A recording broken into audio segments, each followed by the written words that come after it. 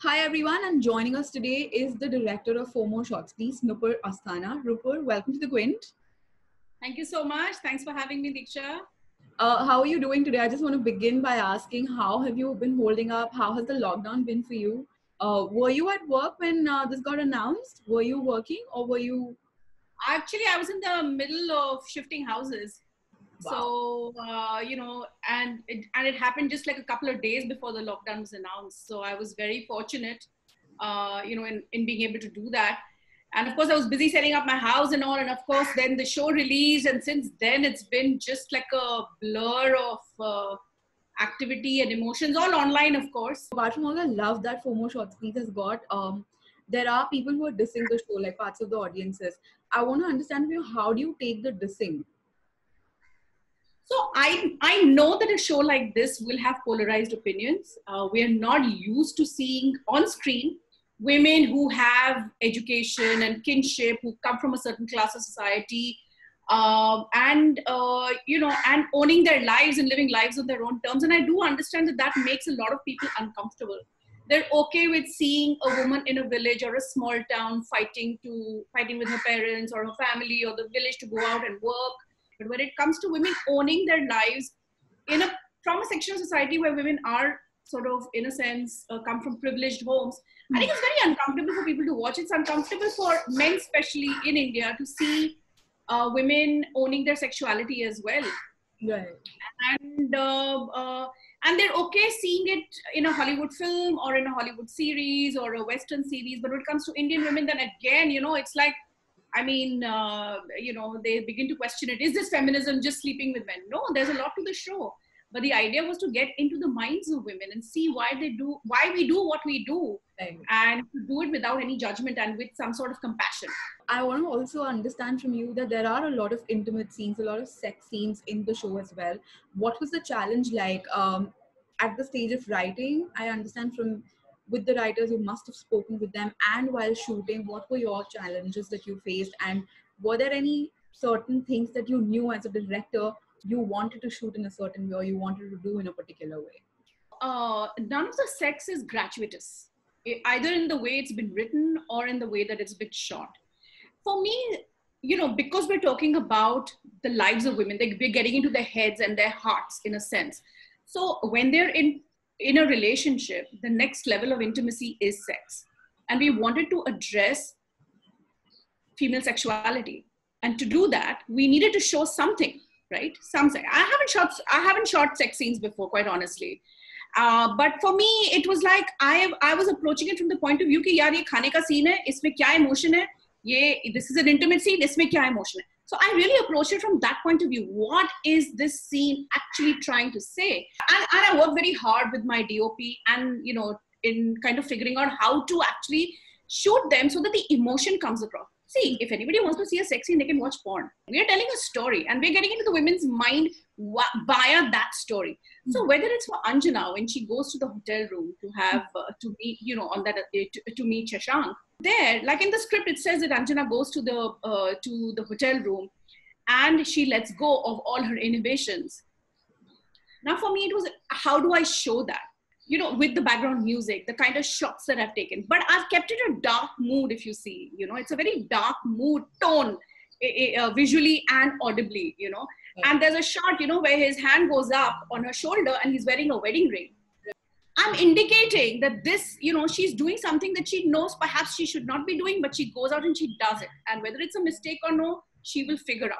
For Siddhi, to with Amit, in her head, she's not ready. She's looking. It's a search for self, right? For Siddhi in this entire season, it, you know, she said ki, यार self love का रास्ता self hate से होता हुआ जाता है. She says right. in one stanza. And for her, it's really that about accepting herself. And she says एक जगह बोलती है यार I am not ready to B anybody's मैं अभी तो अपने आप से मिली हूँ यार मैं किसी की गर्लफ्रेंड कैसे बन सकती हूँ you know so it's like till you love yourself till you find yourself you not ready to B somebody's girlfriend or be labeled like that. So she's very happy hooking up with Amit. He's attractive, he's funny, you know, he helps all of those things that you want in a guy. But when you're hooking up, the sex ain't great. So, you know, she owns up to it and says, Ki, what the hell, yaar? You know, I mean, and, and these are things that were not talked about yeah the female orgasm has never been important it's been you know just never uh, it's just yeah. been brushed under the carpet it's uh, samara and umang for them you know in season one it was a lot of lust yeah right in season two it's almost like a spiritual connection now it's right. a lot of love a lot of caring so I've in in the scene I've chosen moments, you know, intimate moments and nuances, which give you that sense of give you that feeling. So right. every intimate scene was approached by me and my DOP uh, with what is the emotion that we're going for. Siddhi's character actually not just female orgasm, but also how much can you discuss sex with your partner is also coming across. Um, I want to ask you, was that deliberately done? in the script because female orgasm or sexuality isn't talked about as much as it should be definitely uh, it was one of the things that we wanted to address and you know and what better than uh, uh, you know a show like this which is talking about so many issues and we, we're getting into complicated messy relationships. Why do some relationships fail? Why do they do well? And uh, i think apart from the emotional and the other uh, uh, aspects sex also plays an important part in where uh, you know where uh, a relationship can go or not or depends on where you are in the relationship quite frankly and how much can you talk about what you like what you don't like can you work on it actually with the lisa and Bani's characters i want to understand from you did you speak to somebody from the community when you were showing their scenes as well and this is not just for their relationship because i feel like their relationship in totality encapsulates what, what any relationship can go through. But just the scenes that where they were intimate, did you speak from people from the community? I have a few friends who are uh, who are gay. Uh, I did a lot of research when I did a show called Romil and Jugal mm-hmm. a couple of years ago, which was an adaptation of Romeo and Juliet with two boys. So I had done a lot of extensive research then. So before shooting this scene, no, I didn't. You know, I always approach my characters from a very human kind of humanistic point of view you know before gender people are human beings and i was like i said because i was going with the emotion of it uh, i uh, uh, you know it was actually one of the easier scenes to shoot quite frankly you know the thing is that all the all the actors bring their a game to the table. So uh, in terms of professionalism and uh, you know wanting to uh, crack the scene how the director wants it and all of that. So you know those are assets. Those are plus know and we talk a lot. You know before shooting every scene the actors and i will have a long you know have lengthy chats. Like you know i mean like in istanbul Maanvi came to my room one one day earlier and said okay how are we going to do this? And we discussed it in detail. So you know i mean before everything even like you know with lisa and ba- um, uh, bani i mean we you know we sat there in that room and we talked and talked and talked and i said okay you know i'm thinking of doing this and maybe then you can do that and you know then maybe you can get up at this point.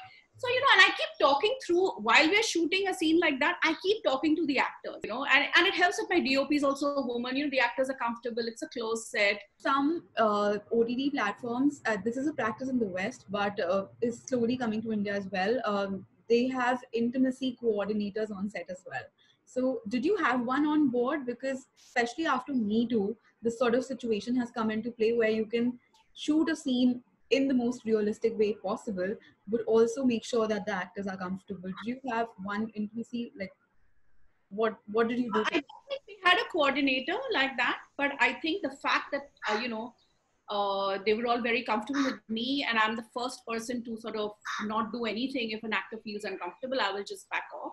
Mm-hmm. Uh, my creator was very supportive like that as well, Rangita.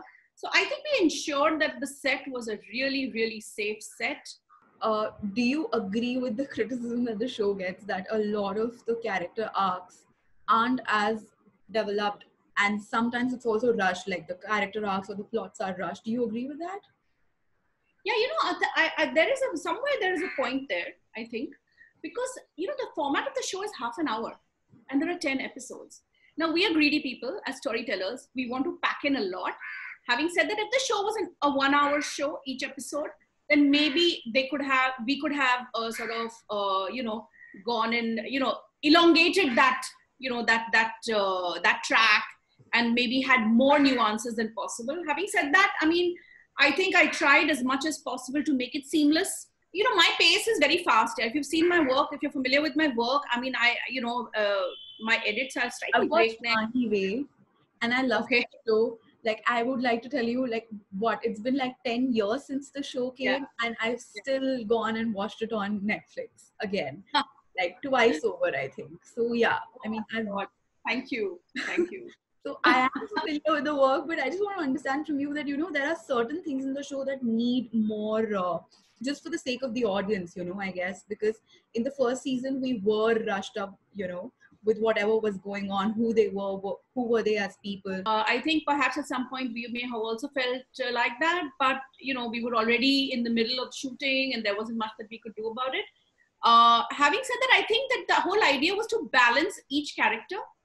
You know, you have to balance every character so that each each of the four girls gets their due in a sense. When I see my work, I always think of all the mistakes I've made. So you know, I I really can't comment on it like that, but uh, we try to do the best we could and i think that if you see that uh, you know there are actually four just four threads right. uh, big threads running through the season one for each of the girls for uh, damini it was really how hard it is to have your creative voice heard when you're not pro establishment. Essentially that was her track.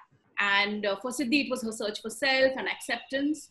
For uh, anjana it was uh, you know uh, dealing with casual misogyny at work and then making the biggest mistake of your life by getting involved with someone who you work with so closely. And then the ramifications of that when he's also married. Uh, for umang it was like how do you balance uh, the power equation in a relationship right. like do you completely get subsumed in it or do you try to find an equal voice in it and that's what she kind of uh, you know uh, rails against right in the end is mahi ever coming back oh my god Oh, Diksha. In between, I did hear talks of it being revived, but then it just fell through. I didn't follow up. What happened? So, I mean, it was the 25 episodes, right? And yeah. uh, uh, I didn't, you know, I was exhausted. Like I'm exhausted after four more shots, and I, you know, I there's no way I can go on to season three because I'm exhausted, right? And I need a new challenge. And I felt exactly the same way after Mahi Way. Devika did write a few episodes, and uh, but Adi couldn't uh, uh, decide on another director, my producer, Adi Chopra. And फिर वो बस and the head of YRF TV, uh, Ravina Kohli, she was adopting a baby, she took a sabbatical. So it just kind of, it just like fell. You know, it just... I blame you for not having a second uh, run through uh, Mahi Way. Can I blame you for it? Please blame Please blame me. well, my producer, Adi also asked me if I wanted to make a film, Mahi Way, by the way. And I said, I think and I said, no, I think I need to do something different. wow. Okay. So you really left a huge audience wanting more, and we're not yeah. saturated. Just want to tell you that. But uh, good luck for four more shots second season. It's been doing pretty well. We're not going to see you as a director for the second, third season. Uh, third season. There'll be someone equally capable or more capable, you know, running with it now. So I think you'll see a smashing season three as well. Thank you so much, Nupur. This was a Thank lovely you. chat. And, uh, bye bye. Bye.